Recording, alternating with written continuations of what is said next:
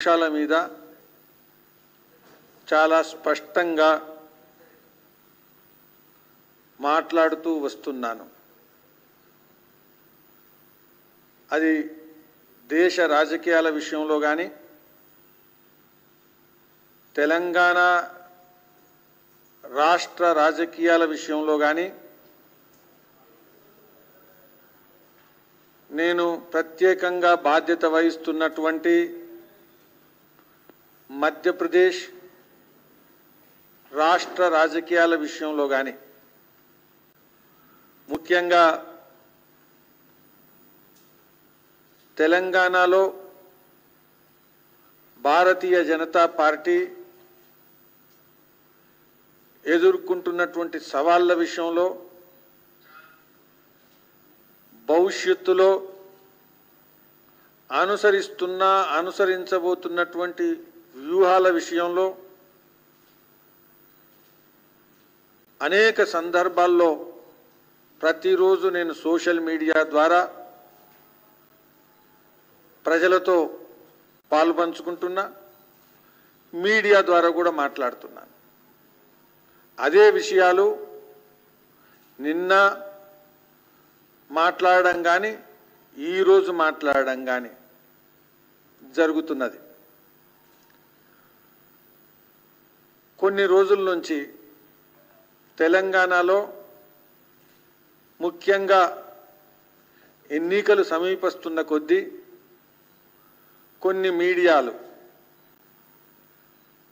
నాకు అనిపిస్తున్నది చెలిమలో చేపలు పడుతున్నారు అనిపిస్తున్నది. నేను చాలా స్పష్టంగా చెప్తున్నాను.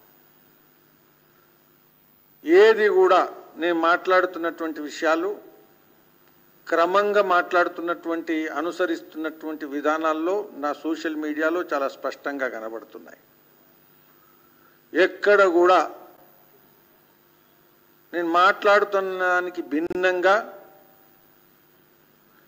ఎప్పుడు కూడా మాట్లాడలేదు మాట్లాడాల్సిన అవసరము లేదు. ఈరోజు తెలంగాణ ప్రభుత్వం విషయంలో కేసీఆర్ ముఖ్యమంత్రి విషయంలో బీఆర్ఎస్ పార్టీ విషయంలో ఓడించడానికి పూర్తి అవకాశాలుండి గేమ్ చేంజర్గా ఉన్న పరిస్థితి ఏంటి అని స్పష్టం చేస్తూ తెలంగాణ జనాభాలో అదేవిధంగా భారతదేశంలో జనాభాలో చూసుకున్న యువకులు ఈరోజు మైనారిటీ కాదు. యువకులు వందకు అరవై ఐదు మంది ముప్పై ఐదు సంవత్సరాల లోపల్లో జీవిస్తున్నటువంటి వాళ్ళు వయసున్నటువంటి వాళ్ళు. ఈ ముప్పై ఐదు సంవత్సరాల వయసు ఉన్నటువంటి వాళ్ళందరినీ కూడా మనం యువకులుగా భావిస్తాం. తెలంగాణలో నిర్ద్వందంగా చాలా స్పష్టంగా టీఆర్ఎస్ ప్రభుత్వానికి కేసీఆర్ ముఖ్యమంత్రి గారికి వ్యతిరేకంగా ఉన్న వర్గము ఏంటి అని బలంగా ఆలోచిస్తున్నప్పుడు కానీ అనుసరిస్తున్నప్పుడు కానీ చెప్తున్నప్పుడు కానీ అది యువకులు యువకులు యువకులు అని మొదటి నుంచి చెప్తూ వస్తున్నాం. నేను స్వయంగా భారతీయ జనతా పార్టీ నాయకునిగా అనేక సార్లు యువకుల విషయంలో ఏ విధంగా తీవ్రమైనటువంటి అసంతృప్తితో ఆక్రోషంతో ఆగ్రహంతో ఉన్నారు? అది ఉపాధి విషయంలో కానీ అది యూనివర్సిటీల్లో కానీ కాలేజీల్లో కానీ లేదా అసంఘటిత క్షేత్రంలో కానీ వాళ్ళు potential game changers. Bharatiya Janata Party దృష్టిని కే యువకుల మీద కేంద్రీకరిస్తే ప్రత్యామ్నాయంగా బీజేపీని విశ్వసించేటువంటి అవకాశం ఉండేటువంటి బలమైన పెద్ద వర్గము అది యువకులు. కాబట్టి మిత్రులారా యువకులే రాబోయేటువంటి రోజుల్లో కేసీఆర్ ప్రభుత్వాన్ని ముఖ్యమంత్రి గారిని ఓడించడం ఖాయము అని చెప్పాను చెప్తున్నాను. రేపు భవిష్యత్తులో కూడా చెప్పడానికి అవకాశం ఉండేటువంటి బలమైన కారణం ఇది. దీన్ని మాట్లాడలేదు. దీన్ని రికార్డులోంచి తీసేస్తారు. కాబట్టి అవసరాలకు అవకాశాలకు అనుగుణంగా వక్రీకరించడం జర్నలిజం కాదు. రెండు సంక్షేమ విషయాల్లో అని భావిస్తున్నప్పుడు అనేక రకాల సంక్షేమ పథకాలు తెలంగాణ మాడలు అని చెప్తున్నప్పుడు సంక్షేమ పథకాల ప్రకటనలు వాగ్దానాలు కాదు. వాళ్ళు రెండిస్తే మేము మూడిస్తాం ఇది కాదు. ఏదైతే వాగ్దానాల వైఫల్యాలు ఉన్నాయో వాటి మీద బలంగా దృష్టిని కేంద్రీకరిస్తే వాగ్దానాలకు ప్రకటనలకు అమలకు ఉండేటువంటి వ్యత్యాసం ఏదైతుందో అది తెలంగాణలో చాలా ఎక్కువ ఉంది. ఉదాహరణకు భారతీయ జనతా పార్టీ డబుల్ బెడ్రూమ్ల విషయంలో పోరాటం చేస్తున్నది మొదటి నుంచి చేస్తున్నది ఇప్పుడు చేస్తున్నది. ఈ యొక్క అమలులో ఉండేటువంటి వైఫల్యాలను గనక సొమ్ము చేసుకోగలిగితే ప్రజలకు విశ్వాసం ఇవ్వగలిగితే ఈ ప్రభుత్వాన్ని ఓడించడం ఖాయం ప్రజలు ఆగ్రహంతో ఉన్నారు. అర్హులైనటువంటి వాళ్ళకు ప్రకటనలు తప్పిస్తే అమలుకు నోచుకోవట్లేదు. ఇది నేను చెప్పాను చెప్తున్నాను భవిష్యత్తులో చెప్పగలిగేటువంటి విషయం మిత్రులారా. మూడవది ఈరోజు కాంగ్రెస్ పార్టీ ఏదైతే ఉందో చాలామంది మోదీ గారి వ్యతిరేకులు పెట్టుబడిదారి వర్గాలతో సంబంధం ఉండేటువంటి మీడియాలు అనవసరమైనటువంటి వక్రీకరించి దుష్ప్రచారం చేసేటువంటి విషయం చేస్తున్నటువంటి క్రమంలో కాంగ్రెస్ను ప్రత్యామ్నాయంగా చిత్రీకరించడానికి ప్రయత్నిస్తున్నారు. అది సాధ్యం కాదు. తెలంగాణ ప్రజలు రెండు వేల పద్నాలుగులో ప్రతిపక్షంగా కాంగ్రెస్కు ఓటేశారు. రెండు వేల పద్దెనిమిదిలో కాంగ్రెస్కు ప్రతిపక్షంగా ఓటేశారు. ప్రతిపక్షంగా ఓటేస్తే అది బీఆర్ఎస్ పార్టీకే మారింది.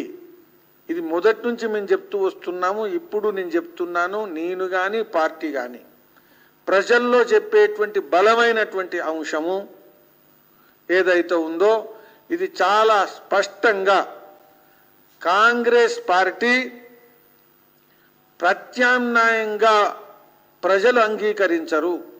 తెలంగాణ ప్రజల్లో బలమైనటువంటి అనుమానం ఉంది అనుభవం ఆధారంగా ఉన్నటువంటి అనుమానం ఇది. కాబట్టి ఈ అనుభవం ఆధారంగా ఉండేటువంటి అనుమానం ఏదైతుందో ఈ సందర్భంగా ఈ నేపథ్యంలో భారతీయ జనతా పార్టీ నిలబడగలిగేటువంటి పార్టీ ప్రత్యామ్నాయం ఉండగలిగేటువంటి పార్టీ వ్యతిరేకంగా పోరాటం చేయగలిగేటువంటి పార్టీ. దీన్ని మేము క్రమం తప్పకుండా ప్రజల మధ్య ఉంచగలిగితే ఖచ్చితంగా భారతీయ జనతా పార్టీ వైపే మొగ్గు చూపుతారు. దానికి కారణం కేంద్రం నుంచి మొదలుకుంటే మాకుండేటువంటి గత ఎనిమిది సంవత్సరాల పోరాట చరిత్ర. ఎప్పుడు కూడా బీఆర్ఎస్ వ్యతిరేక ఓటరు ఎదురు చూస్తున్నప్పుడు ఇది బీజేపీ మాత్రమే పొందగలుగుతుంది అనేటువంటి విషయం చాలా స్పష్టం చేయడం జరిగింది. ఏ మాత్రం కూడా సంచలన వాక్యలకు లేకపోతే ఉత్తేజకరమైనటువంటి స్పెక్యులేటివ్ వక్రీకరణలకు సాధ్యం లేకుండా మాట్లాడాను నేను మాట్లాడతాను. మాట్లాడినటువంటి అంశాల్లో ఏమి కూడా తేడా లేదు. భారతీయ జనతా పార్టీ నేను మొదటి నుంచి చెప్తూ వస్తున్నా తెలంగాణలో పెరిగే పార్టీ ఇతర పార్టీలు తరిగే పార్టీలు తగ్గే పార్టీలు. మొదటి నుంచి చెప్తూ వస్తున్నాం. అందులో భాగంగా భారతీయ జనతా పార్టీ అధ్యక్షులు ఎవరైనా అది డాక్టర్ లక్ష్మణ్ గారైనా కిషన్ రెడ్డి గారైనా బండి సంజయ్ గారైనా లేకపోతే ఈరోజు మళ్ళీ కిషన్ రెడ్డి గారైనా పార్టీ క్రమం తప్పకుండా పెరిగే పార్టీ ఎందుకంటే నరేంద్ర మోదీ గారి నాయకత్వంలో సిద్ధాంతము ప్రభుత్వము ప్రభుత్వం చేస్తున్న అమలు చేస్తున్నటువంటి అభివృద్ధి పథాలు. వాటితో పాటు సమిష్టి నాయకత్వము. అయితే లక్ష్యాలకు అనుగుణంగా సాధించాల్సినటువంటి స్ట్రాటజిక్ అబ్జెక్టివ్స్ వ్యూహాత్మకమైనటువంటి లక్ష్యాలకు అనుగుణంగా బాధ్యతలు మారుతుంటాయి. బాధ్యతలు మారడంలో విచిత్రం లేదు ఈ పార్టీలో. బాధ్యతలు మారని పార్టీలను విశ్లేషిస్తూ వాటి కోణంలో బాధ్యతలు మారే పార్టీలను విశ్లేషించడం అలవాటైతే అనర్థాలు జరుగుతాయి కావాలని అనర్థాలు తెస్తారు. బండి సంజయ్ గారి నాయకత్వంలో కూడా పార్టీ పెరిగింది. గణనీయంగా పెరిగింది. ఉదాహరణలు అనేకం ఇచ్చాము ఇస్తున్నాం. ఈ రోజు కూడా పార్టీ పెరగడం ఖాయం తథ్యం. కాబట్టి బాధ్యతలు మారడం ఏ వ్యక్తి కానీ వ్యక్తుల కానీ లోపాల కారణంగా కాదు. To achieve better results to achieve strategic objectives. Shifting of the responsibilities is normally happens in our party ఇది నేను మాట్లాడినటువంటి మాట్లాడుతున్నటువంటి అంశాలు. ఒక్కటి కూడా తేడా లేకుండా. ఇంకొక విషయం గమనించాలా? మధ్యప్రదేశ్ గురించి మాట్లాడుతున్నప్పుడు శివరాజ్ సింగ్ కార్ చౌహాన్ గారి యొక్క సంక్షేమమైనటువంటి ఏదైతే అభివృద్ధి పదం ఏదైతుందో అది పోల్చలేము. అక్కడ ఒక రకమైనటువంటి పద్దెనిమిది సంవత్సరాల నేపథ్యం ఉంది కాబట్టి ఇది మనం పోల్చలేనటువంటిది. కర్ణాటకతో మధ్యప్రదేశ్ పోల్చడం సాధ్యం కాదు. History and track record of Madhya Pradesh and Karnataka are both different. రెండవది కాంగ్రెసు రెండు ధృవాల రాజకీయం మధ్యప్రదేశ్లో ఉన్నప్పుడు బైపోలార్ పాలిటిక్స్ ఉన్నప్పుడు బలమైనటువంటి పార్టీ అని అనిపించినప్పటికీ ఎందుకంటే కాంగ్రెస్కు వ్యతిరేకంగా ఇంకే పార్టీలు లేవు. బలమైనటువంటి పార్టీ అని అనిపించినప్పటికీ నేపథ్యం కారణంగా గత అనుభవాల కారణంగా శివరాజ్ సింగ్ చౌహాన్ గారికి సంక్షేమ పథకాలు అభివృద్ధి పథకాల కారణంగా నరేంద్ర మోదీ గారి కేంద్ర ప్రభుత్వం చేస్తున్నటువంటి అనేక కార్యక్రమాల కారణంగా చాలా మంచి మెజారిటీతో భారతీయ జనతా పార్టీ గెలుస్తుంది. కర్ణాటకతో పోల్చలేము పోలికలు లేవు. ఇది మధ్యప్రదేశ్ సందర్భంలో మాట్లాడినటువంటి అంశాలు. కాబట్టి మళ్ళొకసారి నేను చెప్తున్నా మిత్రులారా చెలిమలో చేపలు పట్టేటువంటి రాజకీయాలు చేయొద్దు. భారతీయ జనతా పార్టీ ఒక సిద్ధాంతం ఒక చరిత్ర ఒక నేపథ్యం కలిగినటువంటి పార్టీ నాయకత్వం అనేక దశాబ్దాలు. సిద్ధాంతం కోసం ప్రాణాలు కూడా త్యాగం చేసి నిలబడ్డటువంటి నాయకత్వం ఉండేటువంటి పార్టీ మార్కెట్లో నిలబడి అమ్ముడు పోయేటువంటి పార్టీ కాదు. కాబట్టి మళ్ళొకసారి చెప్తున్నాను ఏది కూడా పెట్టుబడి పాలక వర్గాల రాజకీయాలకు ఒత్తాసు పలికేటువంటి పద్ధతిలో సోషల్ మీడియా యుగంలో వక్రీకరణ ద్వారా దుష్ప్ర ప్రజలు గమనిస్తారు దాని కారణంగా ప్రజలు ఇంకా ఉద్రేకపడతారు. గుర్తుంచుకోండి నేను చాలా స్పష్టంగా చెప్తున్నాను తెలంగాణలో బీజేపీ పెరిగే పార్టీ. బీజేపీ రాబోయేటువంటి రోజుల్లో కాంగ్రెస్ కాదు బీఆర్ఎస్కు ప్రత్యామ్నాయం. బీజేపీ మాత్రమే. బీఆర్ఎస్ తరిగే పార్టీ ఓడేటువంటి పార్టీ. ఇంకొక ప్రధానమైనటువంటి అంశం నేను లేవనెత్తాను. ఈరోజు నేను లేవనెత్తుతున్నాను. బీఆర్ఎస్ పార్టీ ఎందుకు పేరు మార్చుకుంది? తెలంగాణలో జాతీయ రాజకీయాలు మేము చేస్తాము అని చెప్పినటువంటి పార్టీ బహిరంగ సభల్లో ప్రతి అంశాన్ని నేను మాట్లాడుతున్నాను మాట్లాడాను. బహిరంగ సభల్లో ప్రజల ద్వారా చేతులెత్తిచ్చి నడిపినటువంటి పార్టీ నాయకత్వము.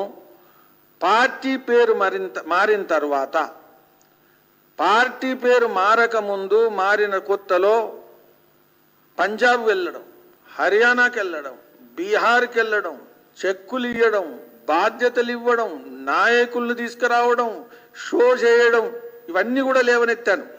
చేసినటువంటి పార్టీ ఈరోజు ఒక జాతీయ పార్టీగా మారాలా అని అనుకున్న క్రమంలో ఎందుకు కర్ణాటక ఎన్నికల్లో ముందుకు పోలేదు? మన సరిహద్దులో ఉండేటువంటి పార్టీ మన సరిహద్దులో ఉండేటువంటి రాష్ట్రము జాతీయ పార్టీగా మారాలనుకున్నప్పుడు ఖచ్చితంగా కర్ణాటకలో అవకాశం వస్తే ముందడిగేయాల్సిన పార్టీ ఎందుకు వేయలేదు మహారాష్ట్ర రాబోయేటువంటి పార్లమెంట్ తర్వాత వచ్చేటువంటి ఎన్నికలు ఉండేటువంటి రాష్ట్రము. కాబట్టి ఏం నడుస్తుంది? ఒక జాతీయ పార్టీగా అవతరించిన తరువాత జాతీయ రాజకీయ లక్ష్యాల్లో వైఫల్యం స్పష్టంగా కనబడుతున్నది. ఇది అడగరా? ఇది ప్రశ్నించరా? ఇది మీరు ప్రశ్నించరా? అని నేను ఖచ్చితంగా నిన్న మాట్లాడాను. ఇవాళ కూడా మాట్లాడుతున్నాను. ఇక్కడ ఏవి సంచలన వాక్యలు ఏవి వక్రీకరించినటువంటి వార్తలు? కాబట్టి దయచేసి మళ్ళీ మళ్ళీ చెప్తున్నా టీఆర్ఎస్ కానీ లేదా ఇతర పార్టీలకు కానీ వత్తాసు పలికేటువంటి ప్రచారాస్త్రాలుగా మారితే సోషల్ మీడియా యుగంలో భారతీయ జనతా పార్టీ ఎదుర్కోగలిగేటువంటి సత్తా ఉంది. దయచేసి చెలిమలో చేపలు పట్టకండి. ప్రజల్లో ఈ విధమైనటువంటి దుష్ప్రచారం చేయడం వల్ల తప్పుడు ప్రచారం చేయడం వల్ల భ్రమ కల్పించేటువంటి స్థితిలో లేదు. నేను మాట్లాడినటువంటి అంశాల్లో యువకులు వ్యతిరేకంగా ఉన్నారు. యువకులు బలమైనటువంటి ఓటరు వర్గము. యువకులే రాజకీయమైనటువంటి చరిత్ర మార్చేటువంటి శక్తి ఉంది. తెలంగాణ ఏర్పడడానికి యువకులే కారణము. కాబట్టి అదే యువకులు తెలంగాణలో మార్పుకు కారణమవుతారు పాయింట్ వన్. పాయింట్ టూ సంక్షేమ పథకాల అమలులో జరిగినటువంటి వైఫల్యాలను ఎత్తి చూపడం ద్వారా ఈ ప్రభుత్వాన్ని కూలదోల్చడం గద్దెదించడం సాధ్యమవుతుంది ఉదాహరణకు డబుల్ బెడ్రూమ్లు ఏ విధంగా ఉద్యమం చేస్తున్నామో. ఇదే విధంగా మూడోది ఏదైతే మన ఏదైతే ప్రత్యామ్నాయం గురించి మాట్లాడుతున్నారో అందులో ఉండేటువంటి వైఫల్యాలు. జై తెలంగాణ.